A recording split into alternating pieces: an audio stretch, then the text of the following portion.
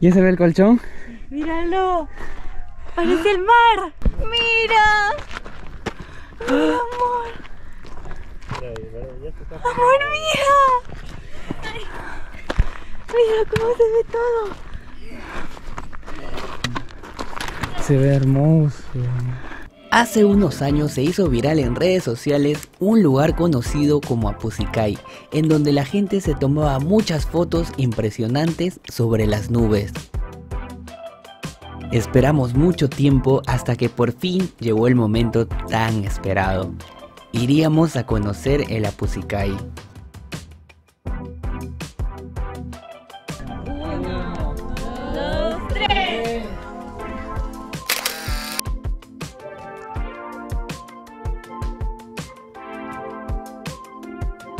Este viaje empieza muchos metros más abajo, al pie de una montaña donde nos encontramos con las primeras indicaciones para llegar a la Pusicay. Hola, estamos en... Bueno, no estamos, estamos subiendo a Apusicay. Ay, dice, mira amor, lee esto. Tenemos que caminar 5.7 kilómetros 5.7 de subida. de subida, sí. Ahí dice que es a 343 metros sobre el nivel del mar, pero yo leí que era 1200. Mil, sí, yo también leí. 1200, pero bueno. Aquí entendimos mal. En ese momento estábamos a 343 metros sobre el nivel del mar y no era que la Pusicay esté a 3433 metros. Gracias. Vamos. Mira una moto. Hemos subido todo eso. No parece, pero está súper, súper empinado. Ya nos queda esto. Queda bastante ya, pero vamos. Necker dice que subir de atrás es más fácil, así que vamos a subir así. Así empezamos. Así. Dice que es más fácil, sí, sí es más fácil, pero no ves nada acá atrás tuyo. Nos vemos ahí. Nos vemos más adelante. Ya entendí.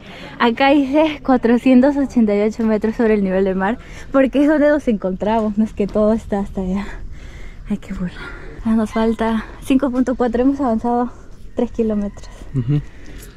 Y aún falta. ¿Qué estamos haciendo? El camino es por allá, así en zigzag, pero un señor de allá arriba nos ha dicho que esto es para cortar camino, así que vamos a seguir los consejos. Estamos acortando, ahí están nuestros amigos. Caminando por los atajos nos dimos cuenta que el camino es una carretera por donde normalmente pasan mototaxis llevando personas. Se puede acortar camino por una especie de escaleras, pero el camino se hace mucho más empinado.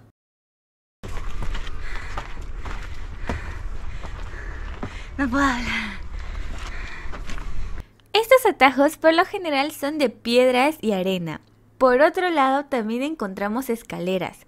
Pero cuidado, algunas pueden llegar a casas. No queremos meternos donde no debemos. Y ya podemos ver las nubecitas por acá. Se ve todo nublado. Respiro nube. Lo que nos hace, nube. lo que nos hace ilusión es que vamos a tener que superar todas las nubes. Para. ¿Qué vamos a hacer más arriba? Ver las nubes desde más alto. No, encontrar el sol. Ah. Arribaza. Tenemos que pasar todo esto para encontrar el sol. Normalmente la ciudad de Lima, donde nosotros vivimos, está nublada la mayor parte del año. Nos emocionaba mucho la idea de caminar más allá de las nubes, como lo pensábamos cuando éramos niños. Podemos decir que fue un sueño cumplido. Sin querer llegamos a la puerta de una casa, donde nos esperaba una perrita, que tenías que acariciarla, si no lo hacías no te dejaba pasar. Tienes que saludarla. Salúdala. Se llama Nala. Hola. Hola, dice, me la toca, No te quiere. No, sí te quiere. Que le saludes, dice. ¿por qué no es Tienes que tocarle, tienes que decir, hola Nala, ¿cómo estás? Fue un gusto conocerte, voy pasando. Ahora sí. Ahora sí. Inhala primero porque.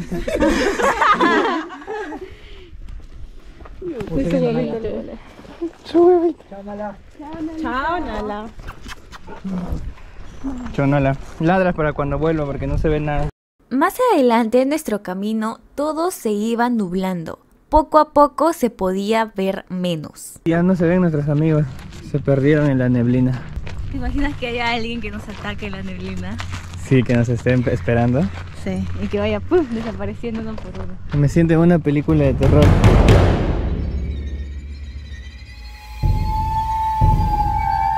Uy, ahí hay dos personas. Después de una pequeña caminata, llegamos a una garita de control donde tienes que pagar una entrada de 5 soles por persona. Ahorita estamos como que en la parte del colchón, así que tenemos que subir arriba, más arriba aún para poder ver el sol y todo así bonito, las nubes. Hemos empezado como que el camino a la una. Una hora casi. Hemos empezado a 2 y 40, una casi. Sí. Son Una y 50. Sí, porque, y también nos hemos demorado comprando en una bodeguita todas las provisiones, agua, comida, porque no hemos traído nada. Y nos dijeron que arriba venden, pero más carito, así que compramos abajo. Ya a partir de este punto empezamos a encontrar más personas durante el camino y también personas que siguen subiendo en moto. La neblina está moviéndose todo el tiempo, va subiendo y bajando. Es así como llegamos a un punto donde se sentía un poco más caliente, no solo el aire, sino también las piedras y el suelo. ¿Por qué crees que está caliente? El aire también está caliente. Siento que porque ya estamos cerca, porque ya estamos cerca al sol. Y espero. Durante el camino también encontramos unas mallas conocidas como atrapanieblas, que son usadas para poder atrapar el agua que hay en la neblina y poder usarla. Ahí, acá es el camino de Pusicari. También andan sacando. ¿Cuántas veces has guiado ya? Ah, esta es mi segunda vez. Ya yo. Sí, somos el segundo ¿Y grupo. por, qué, ¿Y por qué atrapan a la niebla, pobrecito?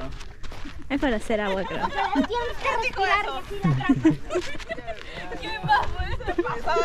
Esa es, esa es la atrapaniebla, ¿no? Y estamos a 770 metros. Para ver el cisne nos queda 2 kilómetros. Y parece que acá es más tranquilo el camino porque ya es todo de frente, ya no está en subida. Se puso más densa la nieve. ¿La nieve? Digo, la neblina. Mientras subíamos, no había prácticamente nadie. Éramos nuestro grupo y nadie más. O sea, tú veías atrás. O sea, sí pasaba gente, pero nos adelantaba. Pero dos parejas nada más creo nos adelantaron y por atrás de nosotros no había nadie. Y acabamos de llegar más arriba todavía y miren la cantidad de personas esperando. Miren. Y eso que más adelante por la neblina hay más gente. Entonces, fines de semana hay gente, entonces más seguro va a ser el lugar. Ya vimos el sol. Pero igual está muy lejos. Me da poca esperanza de que falta. ¡Nikis! ¡Ay, ya, ya se ve azul el cielo! Y- Ya se ve el azul. Ahí es la meta. Nos sentimos más cerca cuando empezamos a ver el sol y un poco del azul del cielo. Si seguíamos mirando hacia adelante se podía ver el cielo totalmente despejado y si volteábamos hacia atrás se podía ver toda la neblina.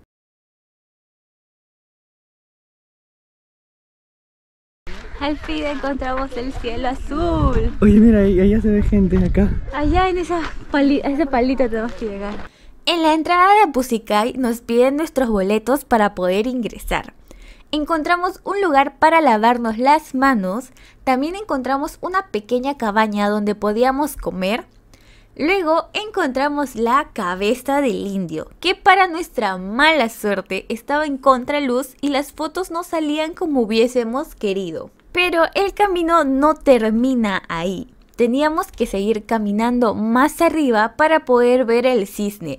Pero no éramos los únicos subiendo, porque la neblina empezó a subir más rápido que nosotros. Por suerte pudimos superar a la neblina y logramos llegar al cisne a tiempo. Pero luego de un momento se nubló todo. Ali. Se nubló. Muestra para allá. A- allá hay una montañita, un cerrito. Donde no también había otro mirador. Hace rato lo veíamos, ahora ya no hay nada. Acá ya, ya pudimos ver un colchoncito de nube que se formó hacia allá. Solo que como ha subido más la neblina ya no se ve. Y también para allá había otro colchoncito. Pero también ya se fue, ya, ya subió mucho la neblina. Ya hace frío y no se ve nada, miren. A las justas se ven esas personitas de por ahí.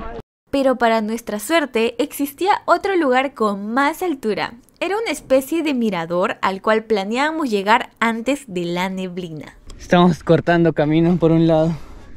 Se volvió a ir la neblina. Y se está formando el colchón. Ya se ve un poco más del colchón. Tenemos que llegar hasta más arriba. Estamos subiendo más para poder ver mejor el colchón porque si se dan cuenta esto es más alto que el cisne. Sí, el cisne está un poco más abajo. Entonces vamos a tener una mejor vista, supuestamente eso esperamos, para eso se hace el esfuerzo desde allá. Vamos. ¿Ya se ve el, ya se ve el colchón? Míralo, parece el mar. Ojalá la cámara se note. Sí, se nota, mira. Sí. Es, parece una línea. Sí. Parece el mar, ¿has visto? Sí. Cuando ves a lo lejos el mar solo ves una línea. Está igualito. Llora, llora, valió la pena. Eh. Ahí arriba llora. Espera, falta. Falta. Mira. amor. Amor, mira. Mira cómo se ve todo. Se ve hermoso. Valió la pena, ¿ves? Tú no querías subir. Yo ya me había rendido en el cisne. Después de una caminata logramos llegar al mirador, al cual no teníamos planeado llegar por el cansancio, pero por suerte decidimos hacerlo, porque desde ahí pudimos tener la mejor vista de todo el camino. Nos quedamos mucho tiempo haciendo fotos y videos. Una, dos, tres. ¿Puedes imaginar de que debajo de todo esto está la ciudad? No. Pareciera, o sea, nunca he subido a un avión ya, pero pareciera como que la vista desde la ventana de un avión. Está todo bonito. Te sientes como en el cielo porque no ves nada más, solo ves las nubes y el sol. ¿Quién diría que abajo de esto está todo Lima? Con frío, congelado. Y nosotros acá con calor. Se ve hermosa. Quería decirles algo, ya me olvidé. Este, con esta hermosa vista, digo que otra vez valió el sufrimiento de toda la subida. Lo vale es que solo miren, imagínense, allá abajo está Lima. Puedo ver el sol y las nubes, miren qué colchoncito tan hermoso. Se ve tan, tan apetecible para dormir, para tirarse, pero si te tiras, ven, esa caída te espera. Hoy casi me caigo. Esa caída te espera. Y allá se ve el cielo azul. Y allá se ve la luna.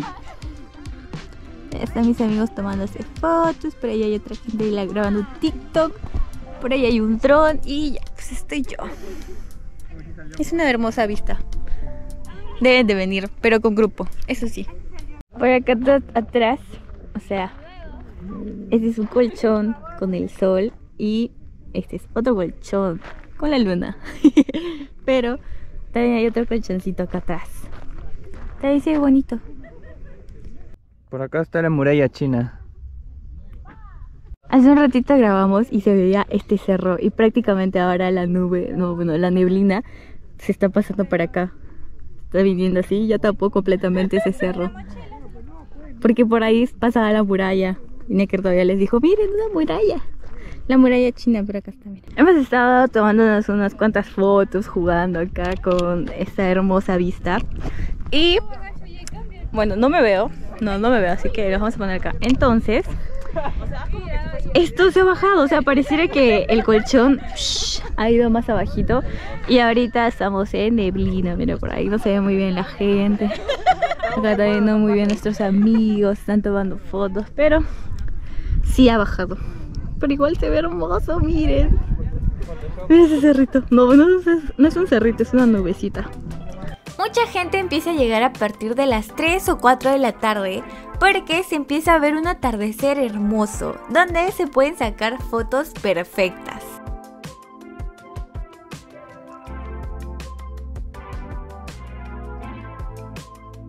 Nos quedamos para poder ver el atardecer y por un momento nos cubrió la neblina. Valió la pena la espera. Es hermoso poder ver la combinación de colores amarillos y naranjas, también azul y el blanco de las nubes pero ya nos teníamos que ir porque se hace oscuro y la bajada no es muy fácil. Ya nos estamos yendo, así que no se olviden de suscribirse, dejar su like y dejarnos por ahí un comentario. Y recuerden que tenemos más videos que son muy interesantes, así que pásense por el canal. ¡Chao!